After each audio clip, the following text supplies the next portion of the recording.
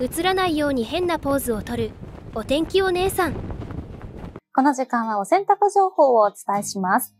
こちら現在の千葉幕張の様子です。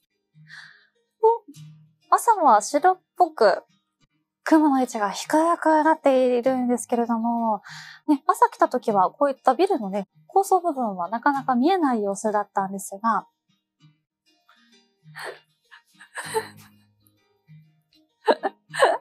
あ、あっち行けないんですね。あ、あ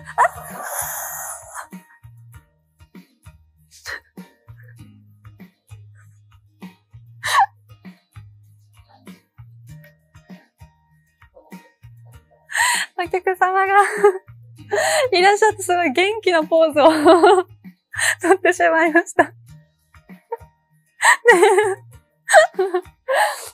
ことで いや、いや、もっと素敵なポーズを撮ればよかったですね。